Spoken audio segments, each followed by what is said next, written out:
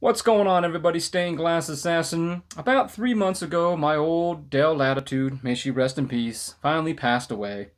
I say old because it was an E6410 series, which if I recall that is a 2010 model. I picked it up in 2011 when a local office down the street here was purging all their old equipment because they were going to be upgrading. So they sold it to me as an empty shell. All I had to do was put in my own uh, hard drive, upgrade the RAM, and for a very cheap price tag, I got a very nice laptop that lasted, well, for the better part of 10 years.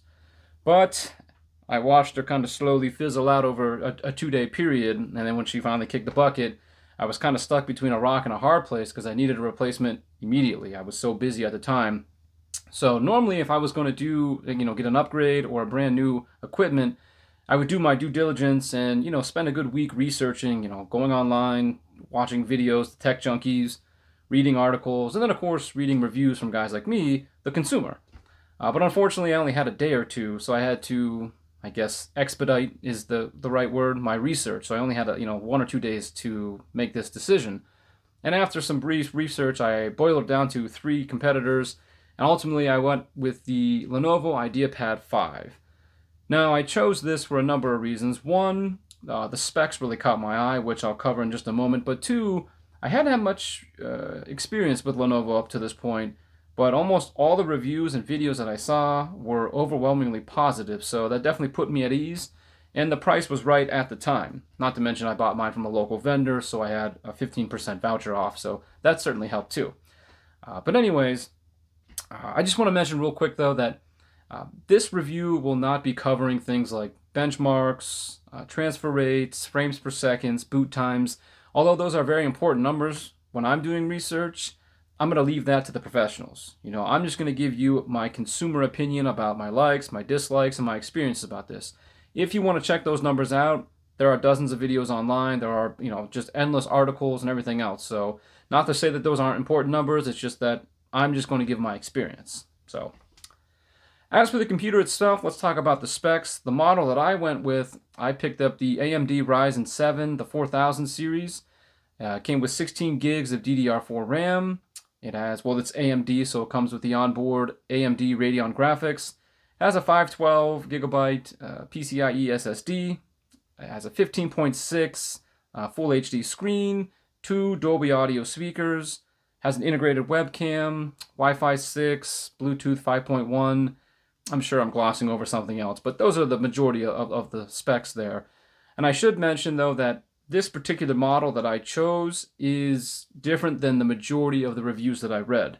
Uh, the majority of those reviews either came with Intel chips, or if they did come with AMD, they were the Ryzen 3 or the Ryzen 5. And also, most of them did come with the uh, standard 8 gigabytes of uh, RAM. I'm not saying that's going to skew things drastically, but it certainly would change some of the benchmarks if we were doing that, but we're not going to cover that. So just want to throw that out there. Uh, so while we're talking about it, let's talk about the computer itself, you know, the exterior. So let's take a look at the pictures here. I'm just using some stock images.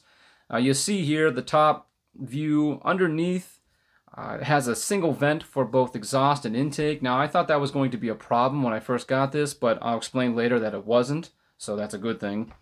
Uh, as for the keyboard, now my old Dell Latitude had the keys that were essentially pressed up against one another, and you had to actually push the keys down to get them to type. Now, personally, I like the old-fashioned, you know, big keyboards, but when I saw this was the spaced keys, I was a little hesitant because, like I said, I'm so used to the old keyboards, but I gotta say that the response of these keys are very nice, and uh, it took me a day or two to get used to it because you really don't have to push the keys down. They respond to just kind of sliding your fingers over and, and you know, you'll type. So after about a day or two, I caught on board and I actually really like the feel of it now. So uh, that put my mind at ease. Also, of course, with this type of keyboard, uh, it prevents hair and crumbs and dust from getting up underneath the, my old Dell. You push down on the key, you know, it exposed the entire underneath portion of that. So there was always hair and uh, crumbs. Not my hair, obviously, but cat hair and other things. So uh, that was nice. This also comes with a very nice backlit keyboard. My old Dell didn't have that. Now this has two settings. It has a kind of a low and a high. Now I know it doesn't seem like it right now because I have this light on, but when I turn this light off, it's kind of dark in this room. So the low setting is very nice when I'm doing some typing, especially at night. So that was a nice feature. Uh, you also see that it has a more condensed uh, touchpad. Now I don't like, one of the other computers I was looking at was a Dell, and this thing was like a loaf of bread. You know, the touchpad took up almost the entire palm rest.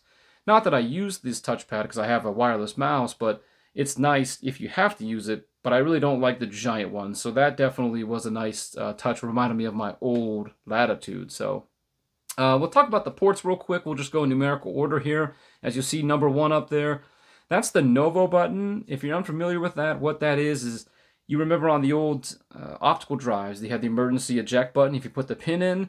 Well, this is similar because if you're having problems reaching like a boot menu or if your computer is stuck in like a, a loop, this will bypass all that. If you put a pin in there, it'll take you right to the boot menu. You know, on Windows, you have to go through the advanced shutdown options and blah, blah, blah. Well, this just kind of bypasses that. So that's a nice little feature. I didn't even know what that was until I went online and took a look at it. Uh, next, you have a 4 in 1 memory card slot, and then next to that, you have two USB 3 ports. On the other side, you got your AC adapter, obviously, your charger there. And then you have a USB-C port, which was different than the IdeaPad 3 that I saw. It looked like they had three dedicated USB 3 ports. Uh, then, of course, you have an HDMI cable slot and then your audio jack. So now I want to take a moment and address two common talking points that appeared in just about every single video or every review that I uh, read online. And since they were the two major talking points, I feel that, you know, I should at least address them, okay? Uh, the first, which is kind of the biggest one, has to do with the screen. Now, they claim that this, now this is not the touchscreen version, okay? I did not get the touchscreen, but they claim that this is a no glare screen, that it can handle bright lights, but unfortunately, if I were to take this outside on the porch, the sun would wash it out. It's just too bright, it can't handle it. Now, the touchscreen, I saw a video, the touchscreen version handled the sun just fine. This does not. Okay, so that was uh, a little disappointing, even though I never take mine outside. But regardless, the option doesn't, you don't really have that option. I know some people that do like to go sit outside and do some things on the computer. Uh, two, even though this is an IPS an in-plane switching screen, this feels like my old 2010 Latitude. Uh, feels like a twisted pneumatic screen, a TN screen, because if I lean just slightly forward, like right now I'm looking at it, it's darkened in the top left corner. All right. Uh, if I'm watching a hockey game and I'm over here doing something, I can't see the puck because I'm not right in front of the screen. So it's kind of a bummer that I have to sit right in front of the screen to be able to, you know, get the full experience of what's on that screen. Uh, again, that feels like something that would come standard in a 2010 model, not a 2020 model. Uh, the second and the biggest uh, issue that most people have has to do with the color, okay, of this. Now, I'm not an expert on sRGB panels, pixels, refresh rates, none of that. So I went ahead and I wrote a few notes down from the reviews that I read here, okay? So uh, in the one quote review, it said that the IdeaPad 5 comes with a mere 54% sRGB matte Full HD screen. And in their final conclusion, it was that it was a washed out sRGB panel. Now, what I mean by that is the colors they claim are very muted and, as I said, washed out. Now, I will play devil's advocate in just a moment, but when they did the reviews, I believe they had an HP and a Dell. When you put them side by side, you could definitely tell the difference in the colors, especially like the blues and the yellows, they really popped out. So, against their competitors, it definitely did not look um, as eye catching. You know, the colors weren't as vibrant. Now, I just want to mention that I've seen the word flagship thrown around a lot in reviews, like from Amazon, Walmart, Newegg, Best Buy. That word was thrown around a lot about this particular model, and I don't know if Lenovo considers this their flagship, but every time I typed in Lenovo IdeaPad or just Lenovo laptops, this came up as one of the main, uh, you know, products. So I'm guessing it fits the bill. This is kind of the one that they were advertising as their, you know, cut above the rest uh, laptops. So unfortunately, to have a screen underperform that badly for a 2020 model, mm, I don't know what the right word is, but it feels like they're undercutting their customers because it feels like they did just the bare minimum to put a screen on there and that sRGB panel being so low compared to their competitors. So, uh, but I will, like I said, play devil's advocate because one, if I would have never read the reviews, I would have never noticed the colors. Okay, because in my opinion, they still look very nice. They look punchy. Uh, I don't have any trouble with them. I've watched plenty of TV, streaming, live sports. I played video games on there. Not once have I ever said, "Oh, these colors look dull," or "They look washed out," or "They don't look good at all." Not at all. I've actually enjoyed my visual experience with this particular model. So as of for my personal experience, it's not a deal breaker. That being said, it doesn't excuse Lenovo for, like I said, undercutting their customer base by essentially putting on the bare minimum of screens.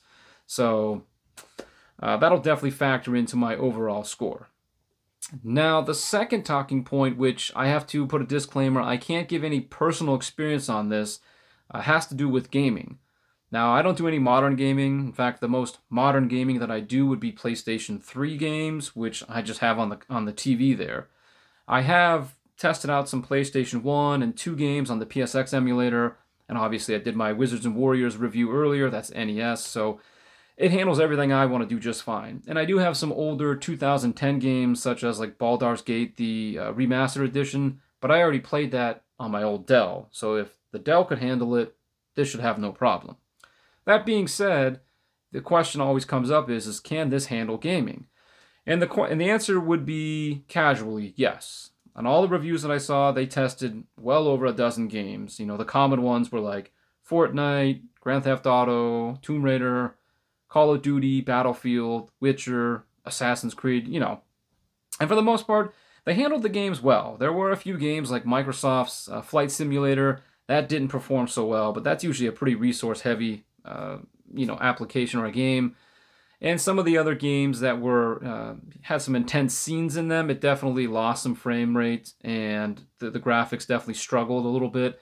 But they also tweaked the in-game settings and it fixed some of those problems. So I would say the casual gaming, this gets a pass on. But then again, if you're a hardcore gamer, you're probably going to want to go ahead and get the Legion because that is the gaming version of the Lenovo laptop line. So I wouldn't be looking at this as a full-time gaming computer, right? So I thought I'd just address that real quick. Now, let's talk about a, few more critical details before I talk about my personal experiences. So let's take a look inside. Now, this is a stock photo. My fan is not that dirty. Uh, but uh, inside, I was pleasantly surprised, even though it was pretty tough to get the back of this open. I had to use two pry bars and kind of jimmy it, you know, to get it open there. But everything's very easy to to uh, access. Unlike my Dell, the old Dell, you had to move a lot of things just to get to certain products, but this very easy. You can see below the fan you have the SSD. Next to that you got the wireless card. Of course, the fan, the heatsink. Uh, below, the, obviously, the heatsink, you have the CPU. But I want to point out real quick down the, the corner there, there's a tray there that can handle an additional hard drive. It's a SATA hard drive. So if you want to put in an extra terabyte of storage, it's nice that they give you the option to do that. Now, not all models come with this, and I'll talk about that in just a second. But the irony of, of that is, is they give you the option to uh, increase your storage, but if you cast your eyes to the top of the picture, you'll see that silver rectangle. That's where the RAM is soldered to the motherboard. Now, I mentioned earlier that I had to expedite my research, and I use that word because I totally missed the fact that the RAM is soldered to the motherboard. For me, that's a big no-no. And I kicked myself in the ass because I didn't do as much research, the due diligence, I didn't have the time, so I didn't catch that detail. Every review I saw just talked about RAM, 8, 16 gigs, whatever. They never really actually mentioned in detail that would be directly soldered to the motherboard. So uh, this is a big problem for a couple reasons. Well, one, for, and I, I'll play devil's advocate again in just a moment here, but for guys like me, uh, you know, if we want to swap out our RAM, if I want to go get some G Skills or some Kingston and pop it in there, I don't have that option, right? And let's say I bought the 8 gig model and I really love the computer and was going to do some more uh, intense applications with it and I needed to upgrade. I can't do that now. I'm stuck with whatever it comes with. Uh, of course, the biggest problem is is if the RAM ever malfunctions and it causes system-wide problems, Swip, you know, swapping out RAM is probably the easiest task for a non-tech kind of individual. They can just open the backup, take out the sticks of RAM, and put new ones in. You don't have that option now. So now, I don't know how easy it is to replace soldered RAM. My brother's a certified electrician. He plays with electronics all the time, so I'm sure he could do it. But um, if not, then I'd have to pay somebody for this task, which would normally be simple, and I don't like that. So that's definitely going to factor into my overall score. Uh, now, that being said, as, as I mentioned, I'll do the devil's advocate.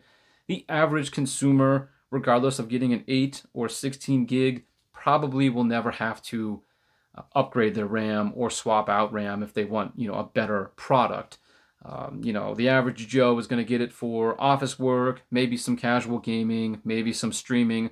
That should handle it just fine. So, unless there's an actual malfunction of the RAM, they probably, you know, won't see this as a problem. In fact, they probably don't even know about it. But again, for a geek like me, I don't like that. Uh, I do want to mention real quick, I, I, said that not all models come with the additional uh, or the optional tray there for the SATA hard drive. If you don't have this model, you'll get the bigger battery, and which will take up that whole space. Uh, you know, it'll take up the space where the drive is. The bigger battery, I think, is advertised as 18 hour lifespan. Mine, this one is a 12 hour lifespan. Now, of course, that says up to because it depends on what you're doing, but I can definitely vouch and say that I've used mine on the battery for a good nine hours. You know, applications such as spreadsheets, uh, streaming, web browsing, and have, you know, I've had no problem with it, so um, no complaints on the battery. Although this sticker here, I know you can't see it, but it says that it has a uh, fast charge, 15 to 20 minute charge. I don't know if I've noticed that, but I don't think it's it charges any faster than a normal laptop. So, but either way, no complaints on that. So, so while we have this open, I do want to address just a couple more minor issues. Now, the first one has nothing to do with the actual product itself. It has to do with the incompetence of whoever put this computer together. So when I opened this out of the box the first week, I didn't have any time to do anything with it. I couldn't play with it. I, you know, I didn't have much time to install anything other than you know my new operating system. I, I use Linux Mint for uh, the majority of my stuff. So, uh, but other than that, I had to just use it as is. And the biggest problem I had was is this thing was running hot like from day one. And I mentioned earlier about the uh, fans underneath, you know, the exhaust and intake. I thought maybe it was clogged up, or maybe I wasn't getting enough airflow because I usually prop mine up on like old CD cases, so you know I could slide my fingers underneath. There's plenty of airflow. But it the fan was always running. The keyboard was hot to the touch, and then when I was checking my temperatures, even at idle, it was just way high. So I was worried maybe I got a lemon, maybe something was wrong, or maybe it was just, you know, not a good computer. So when I finally opened this bad boy up and I took the heatsink off, the thermal paste was everywhere. I mean, it was all over the die, it was all over the surrounding motherboard, and the worst part of it was it was so thick and it was like like melted marshmallow. You know, when you touch it and it just lifted up and it stuck to your finger. So it took me a long time to get the alcohol out, wipe it all down, clean it up, and then I had to apply new thermal paste. Now I'm going to do a in-review review here real quick. This is not a paid sponsorship. I'm just some YouTube bum, but I usually use Arctic, some type of MX or silver for my thermal paste, but I read a great review about Noctua's, uh, the NT-H1, okay, I was doing some research on their desktop heat sinks and fans, and I happened to run into this. So I thought, whatever, for five bucks, I picked it up. Now, the application of this was not as easy as advertised because, you know, usually when you put the thermal paste on, you put a little dollop down, and when you pick it up, it leaves a little pea size, you know, uh, looks like a slime from Dragon Warrior or Dragon Quest, you know, like a teardrop. Unfortunately, this comes out, uh, the only way to describe it would be like those black spark or those firework snakes. You know, when you light it, they kind of rise up in a cylindrical kind of tube. Well, when this came out and I pulled it away, it clung to the nozzle. And literally, when I pulled it away, there was just like a, a tube of thermal paste sticking up in the air. So not a big deal. I just took my plastic pry bar and kind of, you know, flattened it into a small ball and then put the heatsink back on. But I will say that the uh, difference was immediately noticed, okay? Uh, the fan barely runs now. The keyboard, this has been on for a couple hours, nowhere near, not even warm, okay? The numbers at idle and especially at kind of low um, stressing tasks were excellent. So uh, shame on whoever put this computer together and just literally splattered th thermal paste all over the place. But kudos to Noctua. Uh, I think that's how you pronounce it, Noctua, Noctua. Uh, they make a fine product, so I'm definitely going to give a thumbs up on that. Uh, the other two little problems I have with this, and it's just kind of personal preference, is this only comes with the two USB 3 ports. Eh, I know it comes with the USB-C, and that's getting more popular, but it definitely looks like there's space. They could have added an extra port on the side there. I don't know how easy it is just to add an extra, like I said, USB port, but two seems kind of minimal at best. Uh, and the other little preference that I have is, even though I do like the condensed uh, touchpad, I don't like when the buttons are essentially integrated beneath the touchpad. You know what I mean? I prefer to have two kind of rectangular buttons at the bottom that are dedicated left and right click. Again, that's not a deal breaker, that's just my personal preference. So so enough about this computer. Let's talk about my experience. All right. So for a guy that was in a tough situation that had to get a computer immediately, take it right out of the box and start working, I can't really think of too many negative things to say about this. Uh, I already mentioned before about the sRGB panel being weak, but at the same time, if I would have never read that review, I wouldn't have noticed the colors being muted. Okay. I don't notice them now. I'm looking at the screen. They look okay to me. They still pop out. So that hasn't changed my experience at all, my enjoyability of watching TV, streaming, playing video games. So not a big deal for me. Uh, I guess the only constant negative is that, you know, unable to watch it from all angles. That's is a problem, but at the end of the day, that's not going to necessarily give me, you know, change this from an A to a C. You know what I mean? Not that big of a problem. Now, for me personally, uh, the heaviest application that I use is Kdenlive. That's what I'll be editing this video in. And even though Kdenlive has its own problems, that, that's another video, this handles it just fine. As I said before, I've played some PlayStation 2, PlayStation 3 games. All my emulating has worked just fine. I've streamed a lot of different shows and movies. I've watched live TV and sports. I've had no problem with it, okay? My web browsing, yeah, everything. It's just fine. Um, I would say that this is probably a very good computer for, I guess, what today's generation would call the multitasking, all in one type of computer. Uh, you know, a college student could take this into the classroom, could use Excel, take notes on it. I know a lot of classrooms today, obviously, you need to be online for things, so this can handle that. Then they could come back to the dorm, kick back, watch a little Netflix, handle some casual gaming, and you know, that's the college life. Well, at least when I was in college. Uh, but you could also do this for work too. You know, this could go to work and handle PowerPoint presentations, spreadsheets, all that.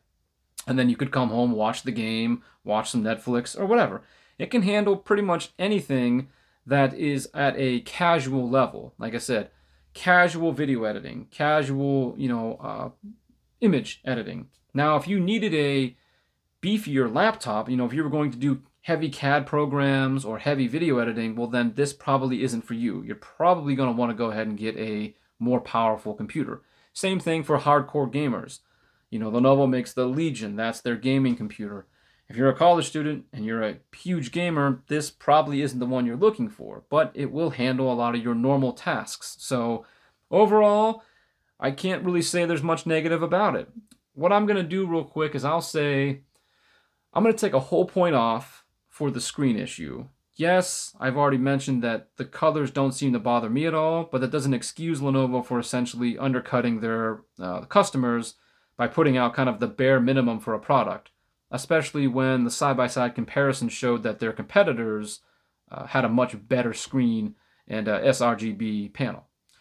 And I'm also going to take a whole point off for the soldered RAM. Um, Again, as long as my RAM doesn't short out on me, I should be okay, but I don't like not having the option of A, upgrading, and B, swapping out the RAM should something happen. So I don't like to be hamstrung in those types of situations. But I think an 8 out of 10 is definitely a, a good overall review for this uh, laptop.